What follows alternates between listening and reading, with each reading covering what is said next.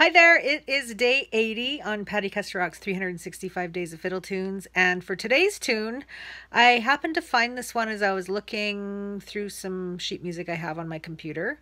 Um, this is a tune written by John Morris Rankin uh, of the famous Rankin family. Uh, he was the fiddle player of the group. I'm sure probably, I wouldn't be surprised if they all played fiddle, you know.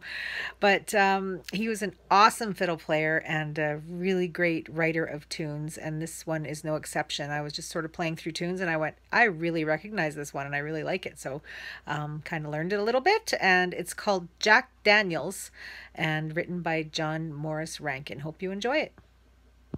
One, two, one.